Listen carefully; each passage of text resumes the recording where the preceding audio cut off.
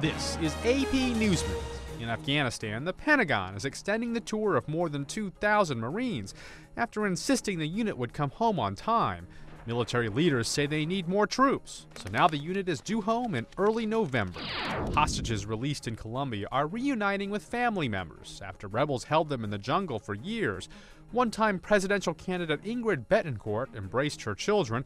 Three American military contractors are recuperating at an Army hospital in Texas.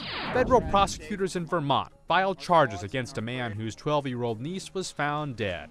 The charges carry the death penalty. Authorities say the man tricked the girl into going to a party, planning to initiate her into a child sex ring. A branch of Madame Tussauds Wax Museum opens in Germany with the likes of Hitler, Beethoven, and Karl Marx on display. All of these lifelike figures can be touched and photographed, everyone except Hitler. Lee Powell, The Associated Press, with AP News Minute.